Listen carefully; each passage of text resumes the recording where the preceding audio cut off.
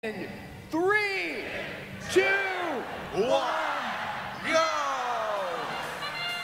These two alliances are underway and autonomous. Both of these alliances are going to want those blue banners.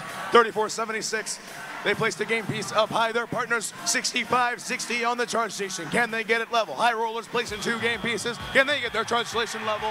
We've got two level charge stations at the end of autonomous. It is just one point between these two alliances with 130 seconds left to go. 65-60, that's the charging champions from Irvine. They've got a cone. They're getting ready to place it up high. They do. For the Blue Alliance, the Blue Alliance is leading by a slim margin of just four points, but there's plenty of time for that to swing in either direction.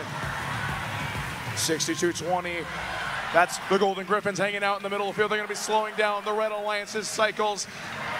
30, 987 spinning by them. 42-76 doing the same. They're playing that defensive position for the Red Alliance. It's now tied. There we go. It's a four, five point lead for the Blue Alliance. 34-76. Code Orange, they're placing a cube up high. It's now tied with 80 seconds left. This match is incredibly close. It could go either way at any second. 987. They have a cone Looks like it's in an improper position inside their robot. Let's see how the Hall of Fame team and world champions can fix that. We've got two blue robots in their loading zone. Can they get those game pieces efficiently? 65-60 breaking away. They're headed back towards their community. Where are they going to score? They're going to score on mid. It's a slim Red Alliance advantage now with 50 seconds left. Now it's tied. It is unbelievable how close this match is with these two alliances.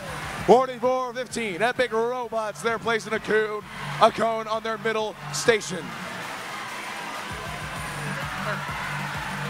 Two Blue Alliance robots charging champions. Code Orange, they're placing game pieces simultaneously. However, Red has pulled ahead just slightly.